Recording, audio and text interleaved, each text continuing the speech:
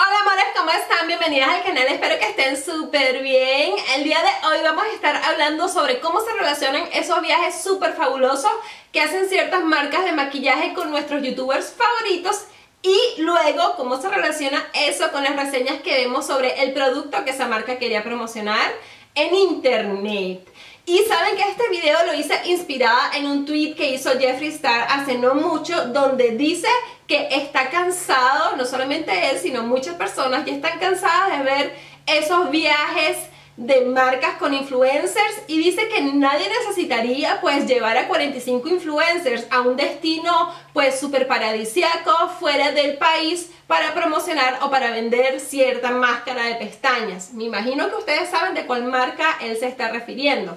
Y además de eso comenta que pues que la industria del maquillaje, que la industria como tal necesita un cambio pues de 360 grados.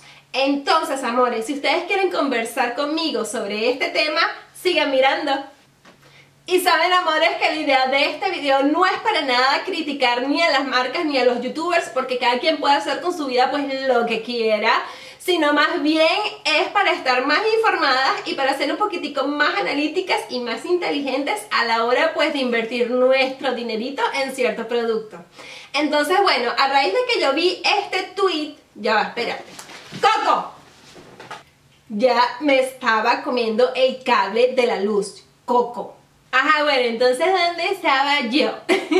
Saben que yo me metí por internet y traté de buscar en español cuánto costaba más o menos para las marcas llevarse pues a nuestros youtubers favoritos a estas vacaciones pues súper lujosas y no conseguí absolutamente nada. Luego de eso traté de buscarlo en inglés y el primer link que me salió me parece que tenía toda la información que yo necesitaba. Es del blog que se llama revelist.com y la chica que lo hace se llama Hello Ali.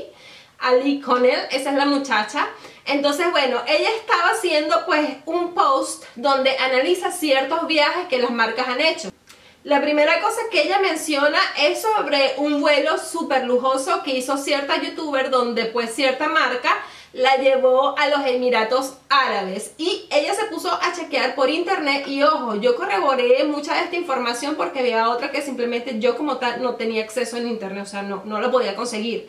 Ella comenta que los viajes más o menos por persona en, pues, en vuelos super lujosos tienen un costo más o menos de 9.500 dólares ida y 9.500 dólares vuelta. El más barato que yo conseguí fueron cerca de 7.100, 7.400 dólares, pero más o menos ahorita porque es temporada baja.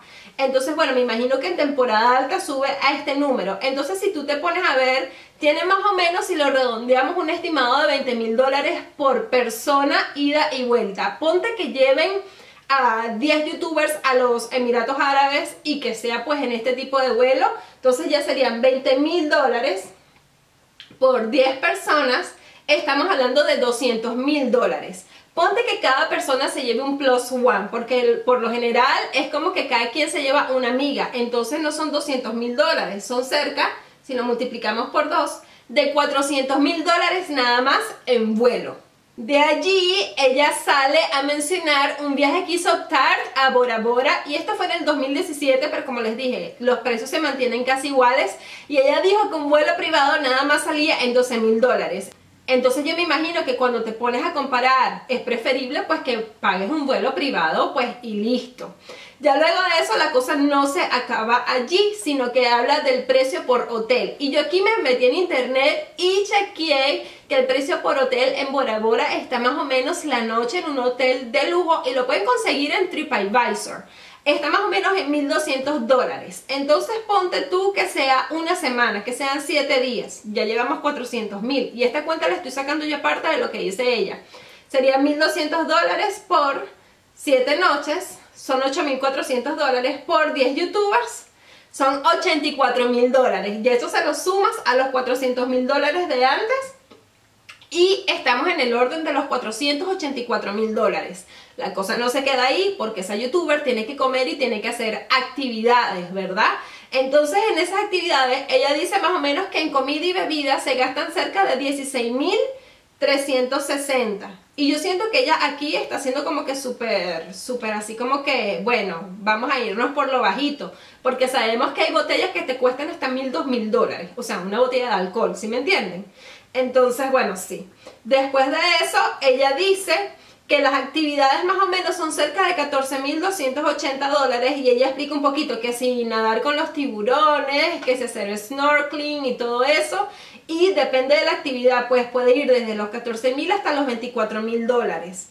Cuando sacamos eso ya el viaje está por los 500.000, ponte que con las actividades le pones unos 40.000 dólares más El viaje cuesta cerca de 540 mil dólares, nada más, nada más. Claro que cuando tú le pones un vuelo charter, ya eso sí, que son vuelos privados y eso sí sale más barato. Ponle que le quitemos, como ella dice aquí, a ella le dio el total 338 mil 640. Eso es un dineral, eso es un dineral. Y aparte de eso, esa youtuber como tal, pues es pagada, pues ella le pagan para que se vaya a disfrutar de esas vacaciones.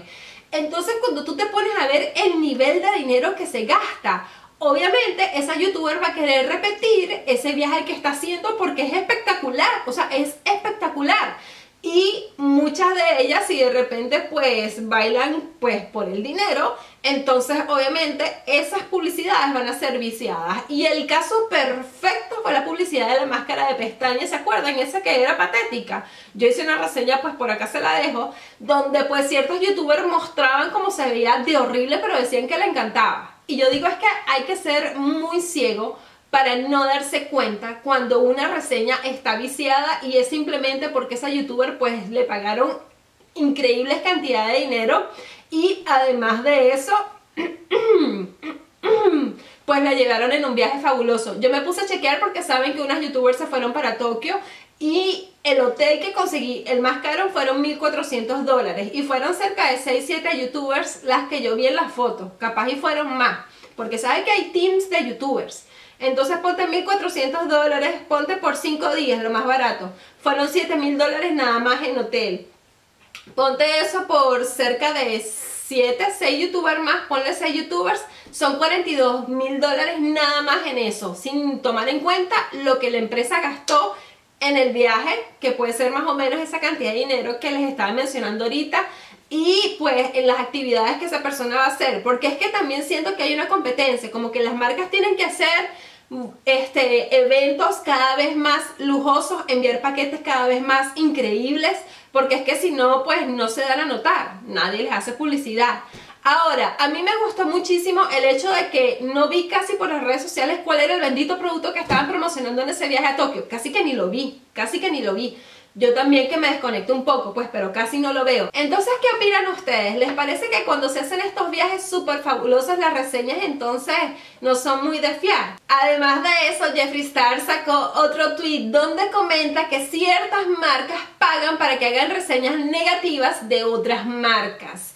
Y esto, señores, yo sé que es verdad porque incluso en la compañía donde yo trabajo me han contado exactamente eso, que pagan para que hagan reseñas negativas y así pues la gente no confíe mucho ni en lo que ve en las redes sociales, ni en lo que lee en la página, pues en cuando tú te pones a ver las reseñas sobre ciertos productos. ¿Ustedes le parecen que deberíamos hacer un video sobre este tema? Si es así, denle like a este video y si llegamos a 200 likes, hago ese video. Y bueno amores, esto es todo por el día de hoy, espero que les haya gustado un montón este video. Si es así, no se olviden de suscribirse al canal, les dejo el playlist por acá sobre más videos de este estilo para que se lo chequeen si aún no lo han visto. Yo me llamo Carmencita, les mando un beso, no se olviden de comentar, suscribirse y darle like y compartir. Les mando otro beso gigante y nos estamos viendo en un próximo video. Bye bye.